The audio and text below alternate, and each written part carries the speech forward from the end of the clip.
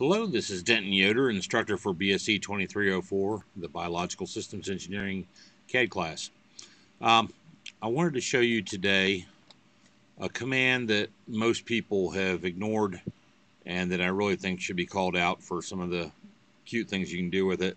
Plus, I'll show a little Lisp routine that I just wrote um, to utilize this command. The command's name is wipeout. So, uh, what I'm going to talk about is I'm just going to call up a drawing. Well, actually, I just draw a couple lines on the screen. And uh, it's just going to be a mess.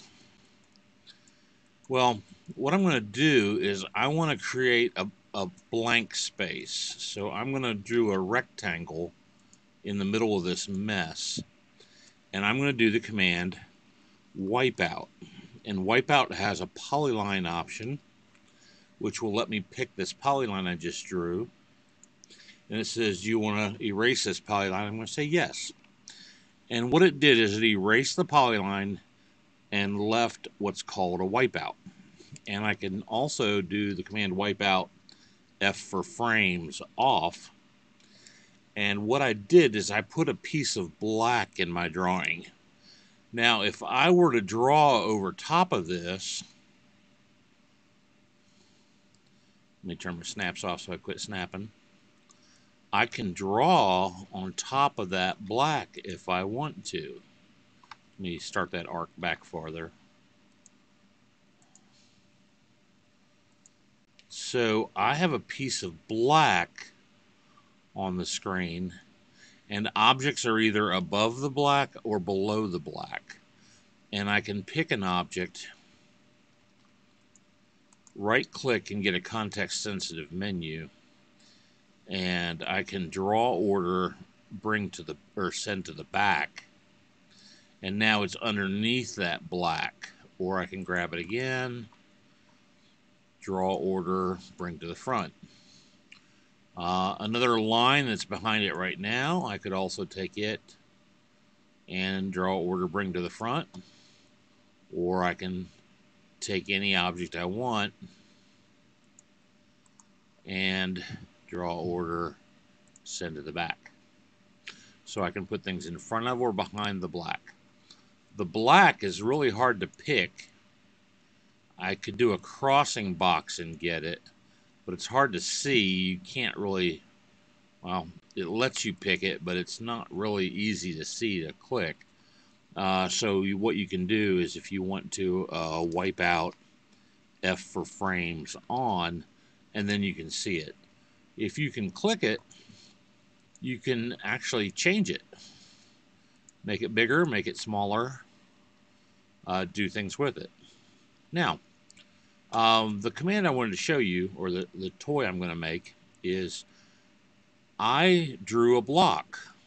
Uh, it's called a clevis. And if I insert clevis top, it is, um, it typically goes on a pin. You give it a scale. I'm going to leave it at one. And you rotate it an angle. And what you'll see is I drew a wipeout underneath this clevis so that even if you turn the frames off, wipe out frames off, you still see the clevis because the wipeout is on the edge of it but underneath. So anything I draw this clevis on gets covered up by the clevis because it has a wipeout in it. Uh, this is really handy for symbols like uh, even an iron pin. You want to show two circles as an iron pin on your drawing, but survey lines underneath that pin should not be broken but I can snap that pin right on the end of a line and it's going to trim out anything that's inside the circle automatically because it's a wipeout. Uh, I've also done it for doorways or windows. So if I have a hatch for a wall, I can just drop a door or window on it and it'll it'll hide whatever's behind it and put it in. I've used it for pickets on a, on a deck. So I can show the pickets on the deck and the siding that are behind the pickets or anything behind the pickets get hidden automatically. So I just combined the clevis command or the clevis block with a program. uh, what my program does is it asks you to, to pick a point, a starting point for the clevis rod. Uh, it's going to get a point, store it as point one. And then it's going to say, do you want to place it by the top or the side? And I'm kind of trying to follow the AutoCAD notation where the default is side, but if you type T, it'll give you top. Um, and then where do you want the end of the rod to be? Point two. And then the, the object is going to be object two. Uh, once you've picked these locations, I'm turning the object snaps off, but I'm storing what the old object snap setting was so at the bottom of the program I can restore the settings. Excuse me. So now at point one, I'm going to insert a clevis top view or a clevis side view one or the other. I'm using the minus insert so I don't get a picture menu. I get a dialog or I don't get a dialog box. It just goes to the command line. I'm changing the string case of the text the person typed in to uppercase so I only have to check for a capital T instead of a capital or a lower. And my if then else statement is basically saying if this what they typed is a T. If they typed a T, insert a top view. And the very next line is the else. If they did not type a T, put in a side view. It's going to be inserted at point one, which is where they picked. It's going to be scaled of one for the X and Y direction. And then the angle is going to be the angle from point one to point two, or the angle they're placing the clevis rod in at. But there's a problem. The angle command returns the answer in radians. So this will be a radians angle. And I can very quickly multiply by 180 and divide by pi, and that'll make it degrees. So I'm inserting a clevis at the angle that they've selected. Um, and I'm either doing a top or a side view depending on what they whether they typed a T or not.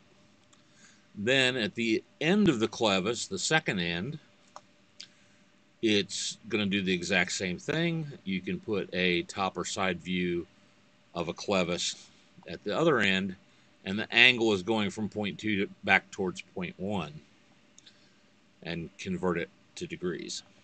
Okay. Then I'm going to move in and artificially create a point 0.3 and a point 0.4. My clevis is exactly 12 inches long from where the shaft starts from the insertion point. So point 0.3 is going to travel in polar from point 0.1, following the angle of point 0.1 to point 0.2, 12 inches. 0.4 is going to travel back from 0.2 towards 0.1, 12 inches. So 0.3 and 0.4 are located 12 inches from the points you picked. Um, now what I'm doing is I'm drawing a polyline and I'm going to draw a 2 inch shaft and turn it into a wipeout.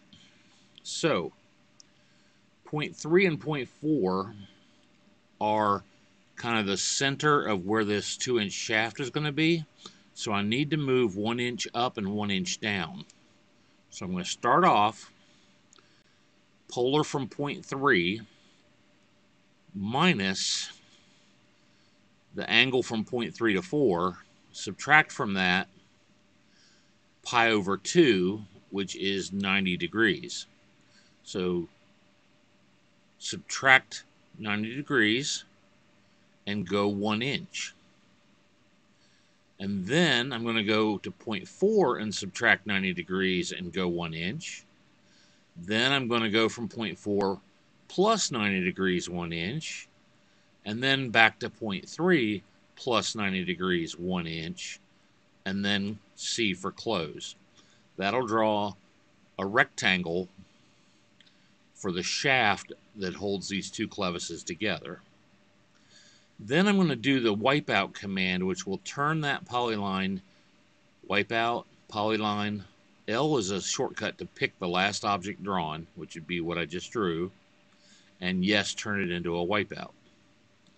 Then lastly, I just copied that code down, and it's going to draw another polyline on top of it. So if the frames are turned off, you'll still be able to see the shaft. Then turn the snaps back on. Okay, to run this, um, well, loading a program is parenthesis load and the name in quotes, load clevis, and it should return with C colon clevis because learned a new command and its name is clevis. So now if I type in clevis, starting point for the clevis rod, um, top or side, I'm just going to hit enter for side, ending point of the clevis rod, uh, I'm going to do T for top. So what I got was a side view of a clevis, the rod connecting them, and a top view of a clevis. Now I can do it again. Just hit enter to repeat the command. Pick a start point, T for top. Pick an end point, T for top. And it draws top to top. Hit enter again. Put it down here. I'm just going to hit enter to get a side. Up to here, enter to get a side. And I got a side view of a clevis. How are we doing?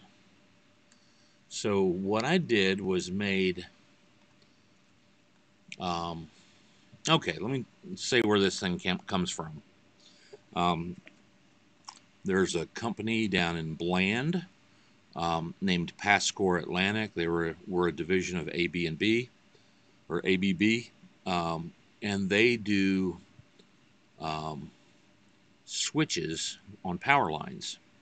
And these clevis rods will tie segments of, together. So, for example, if you have three power lines and you want them all switched at the same time, you could tie all three uh, connecting rods, or you can tie all three switches together with connecting rods or clevis rods and uh, actuate all of them at the same time.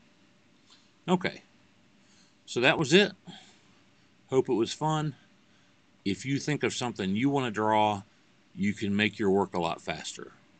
Um, with this company, Pascor Atlantic, I was able to take a process that took them four hours to draw by hand and reduce it to less than five minutes. Thanks.